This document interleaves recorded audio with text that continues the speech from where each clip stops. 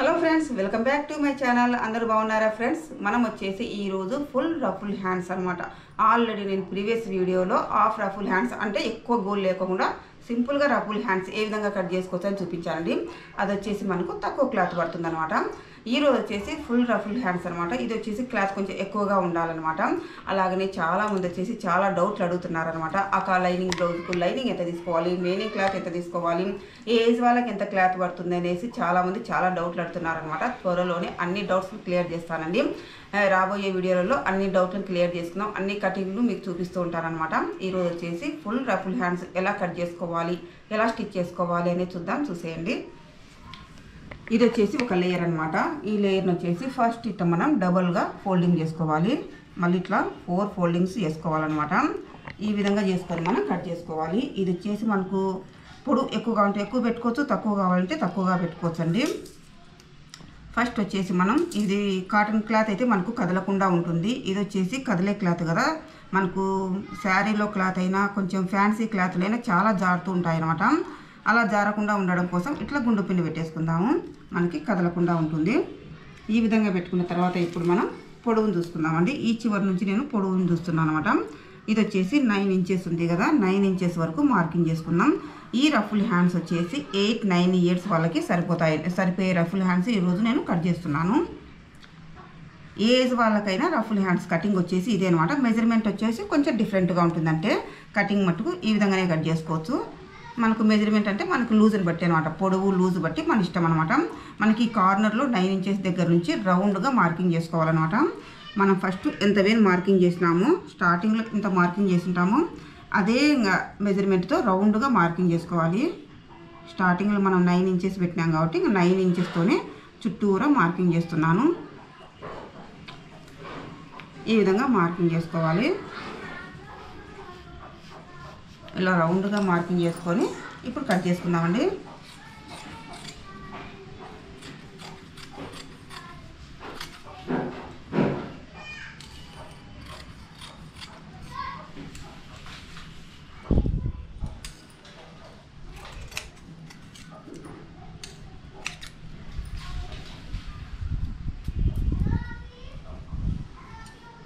ఈ విధంగా మనం చుట్టూరా మార్కింగ్ చేసుకొని కట్ చేసుకుంటే సరిపోతుంది.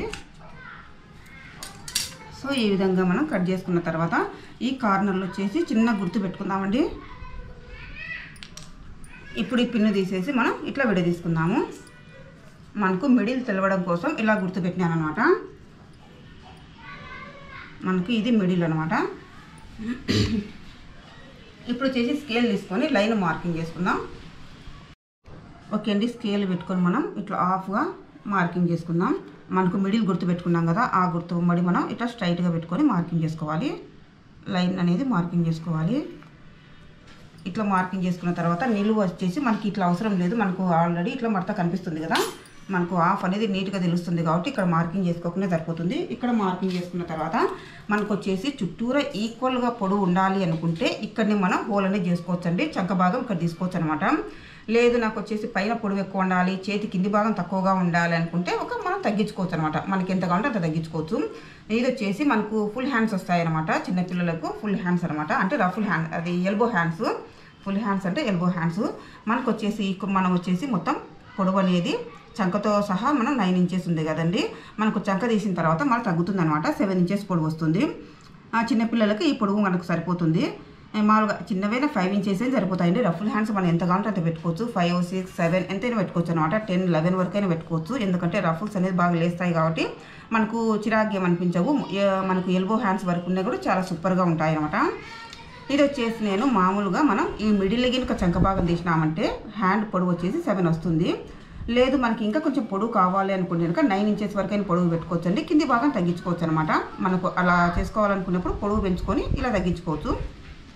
ఇది వచ్చేసి మొత్తం నైన్ ఇంచెస్ ఉంది కదండి. చంక భాగం తీసినప్పుడు సెవెన్ ఇంచెస్ వస్తుంది కాబట్టి మొత్తం నైన్ ఇంచెస్ పొడవు ఉండాలి అనుకుంటే కనుక ఇక్కడి నుంచి మనం డౌన్ భాగానికి టూ ఇంచెస్ వరకు మార్కింగ్ చేసుకుందాం.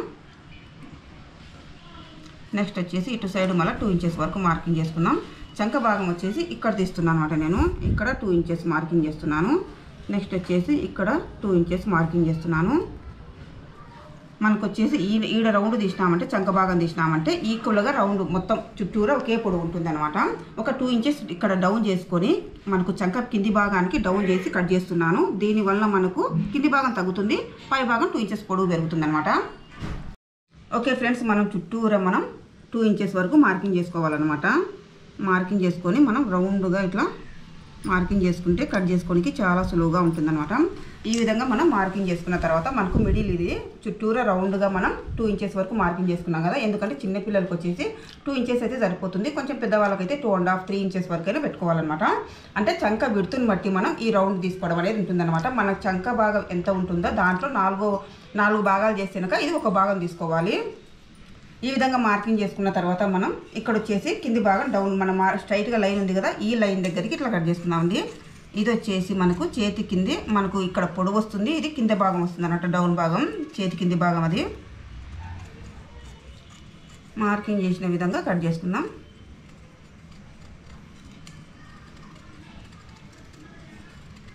మనకి లోనికి వెళ్ళకుండా కరెక్ట్గా కట్ చేసుకోవాలన్నమాట. ఈ విధంగా కట్ చేసుకుంటే మనకు ఇది చంక భాగం వస్తుంది ఇది కింది భాగం వస్తుందండి. మనకి ఇది కట్ చేసుకొనైనా ఇట్లా కట్ చేసుకోవచ్చు. లేదంటే ఇది కట్ చేసుకోకుండా కూడా రౌండ్గా తీసుకొని మనం కట్ చేసుకోవచ్చు అనమాట రౌండ్గా మాత్రం కట్ చేసుకొని హ్యాండ్కు జాయింట్ చేసుకోవచ్చు అండి కట్టు పెట్టకుండా కూడా జాయింట్ చేసుకోవచ్చు. కట్ చేసుకునే జాయింట్ చేసుకోవచ్చు అనమాట నేను వచ్చేసి ఇంత రఫుల్స్లో మన కింద కుట్టే కనిపించదు కాబట్టి కట్ చేశాను. ఇది వచ్చేసి ఎక్కువగా రఫుల్స్ వస్తుందన్నమాట మొత్తం గోల్ ఎక్కువగా వస్తుంది. ప్లస్ మనకి పొడవు అనేది మనకు మొత్తం పొడవు నైన్ ఇంచెస్ పెట్టినాం కదా. చంక భాగం తీస్తే సెవెన్ వస్తుంది. కానీ చంక భాగం అనేది కింది భాగానికి డౌన్ చేసుకొని కట్ చేయడం వల్ల మనకు నైన్ ఇంచెస్ పొడవు ఉంటుంది మనకు టూ ఇంచెస్ కింది భాగాన్ని డౌన్ చేసినందుకు ఇక్కడ మనకు టూ ఇంచెస్ తగ్గుతుంది. కింది భాగం తక్కువనే నో ప్రాబ్లం కదా. మనకు పొడవు కావాలంటే ఇట్లా పెట్టుకోవచ్చండి. పొడవు వద్దు మనకు సెవెన్ ఇంచెసే కావాలి ఫైవ్ ఇంచెసే కావాలి అనుకునే వాళ్ళు నైన్ ఇంచెస్ ఉంది చూడండి మనకు పొడవు నాకు కొంచెమే చాలనుకునే వాళ్ళు చుట్టూరు ఒకే లెవెల్లో పెట్టుకొని కూడా కట్ చేసుకోవచ్చు. చిన్న హ్యాండ్స్ వస్తాయి. ఇది వచ్చేసి ఎల్బో హ్యాండ్స్ వస్తాయి అనమాట ఈ విధంగా కట్ చేసుకోవాలి. మనకు రఫ్ హ్యాండ్స్ అనేది ఇంకొక హ్యాండ్ కూడా మనకు సేమ్ ఇదే విధంగానే కట్ చేసుకోవాలండి. ఇది ఒక హ్యాండ్ మాత్రమే ఇంకో హ్యాండ్ కూడా సేమ్ ఇదే విధంగానే మనం కరెక్ట్గా సెట్ చేసుకొని ఇట్లా గుండు పిన్నులు పెట్టుకొని రౌండ్గా కట్ చేసుకున్న తర్వాత ఈ మధ్యన చంక భాగం కూడా తీసుకోవాలన్నమాట. మనం కరెక్ట్గా సెట్ చేసుకోవాలి ఇది. కరెక్ట్గా సెట్ చేసుకొని కింద మనకి చంక భాగం తీసుకున్నామంటే సరిపోతుంది.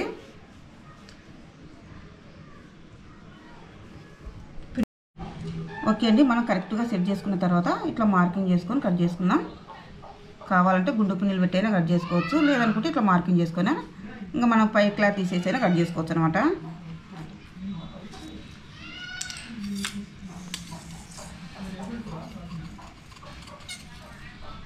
ఇట్లా కట్ చేసుకుంటే సరిపోతుంది.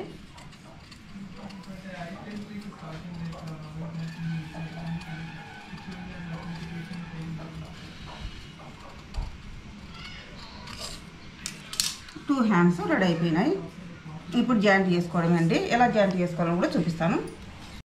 Okay friends ruffle hands cut చేసుకున్న తర్వాత ఇప్పుడు బాడీ పార్ట్కు జాయింట్ చేసుకుందాం. ఇది వచ్చేసి బాడీ పార్ట్ అనమాట బాడీ పార్ట్ మొత్తం ఆల్మోస్ట్ స్టిచ్చింగ్ అంతా పూర్తయింది. హ్యాండ్స్ అనేది ఇట్లా హాఫ్గా ఫోల్డింగ్ చేసుకోవాలి. హాఫ్గా ఫోల్డింగ్ చేసుకుంటే ఇది కింది పార్ట్ అనమాట మనకి. హ్యాండ్ పొడవు ఇక్కడ కింది భాగం ఇది కదా. హ్యాండ్ పొడవు దగ్గర మనం ఇట్లా హాఫ్గా చేసుకున్న తర్వాత హ్యాండ్ పొడవు వస్తుంది కదా. ఇక్కడ చిన్న కట్టు పెట్టుకోవాలన్నమాట. ఎందుకంటే ఇది భుజం మీద జాయింట్ చేయడం కోసం మనకు గుర్తుగా ఉంటుంది. సో ఈ విధంగా కట్ చేసుకున్న తర్వాత మనం ఇక్కడ భుజం మీద కుట్టు ఉంటుంది కదా ఈ కుట్టు దగ్గర ఈ కట్ అనేది కరెక్ట్గా చూసుకొని మనం చూసుకొని ఇట్లా సెట్ చేసుకోవాలి. మనం హ్యాండ్ అనేది ఈ చివరి నుంచి ఇట్లా స్టిచ్ చేసుకుంటూ రావాలండి. ఇట్లా స్టిచ్ చేసుకుంటూ వస్తే మనకు కరెక్ట్గా ఈ కట్టు ఈ కుట్టు రెండు కరెక్ట్గా ఉండాలి. మళ్ళీ నెక్స్ట్ ఇట్లా స్టిచ్ చేసుకుంటూ వచ్చినామంటే మనకు ఈకలో కరెక్ట్గా సరిపోతుంది. ఇట్లా ఈ విధంగా చుట్టూరా స్టిచ్ చేసుకోవాలి. ఓకే ఫ్రెండ్స్ ఈ విధంగా జాయింట్ చేసుకోవాలన్నమాట. మనకు ఫుల్ రఫుల్ హ్యాండ్స్ అనేది వచ్చేసినాయి. ఈ విధంగా మనకి ఫుల్ రఫుల్ హ్యాండ్స్ అనేది వస్తాయన్నమాట. సో ఈ విధంగానే ఇంకో హ్యాండ్ని కూడా మనం జాయింట్ చేసుకోవాలి. ఈ విధంగా జాయింట్ చేసుకున్న తర్వాత మనకి ఇది వచ్చేసి జిగ్జాగ్ చేసుకోవాలన్నమాట. జిగ్జాగ్ చేసుకుంటేనే మనకు రఫుల్ హ్యాండ్స్ అనేది లుక్ చాలా బాగుంటుందండి. ఇది వచ్చేసి ఇంకా జిగ్జాగ్ చేసుకోవాలి. ఇటు సైడ్ అటు సైడ్ జిగ్జాగ్ చేసుకున్నా అంటే చాలా చాలా బాగుంటాయి హ్యాండ్స్ అనేది. మీకు అందరికీ కటింగ్ అనేది అర్థమైందని అనుకుంటున్నానండి. కటింగ్ వచ్చిందంటే స్టిచ్చింగ్ అనేది చాలా ఈజీ అనమాట ఈ కటింగ్ వచ్చేసి మీకు అందరికీ అర్థమైంది అనుకుంటున్నాను. చూసి నాకు లైక్ చేయండి షేర్ చేయండి. మరొక వీడియోలో మళ్ళీ కలుద్దాం. Bye friends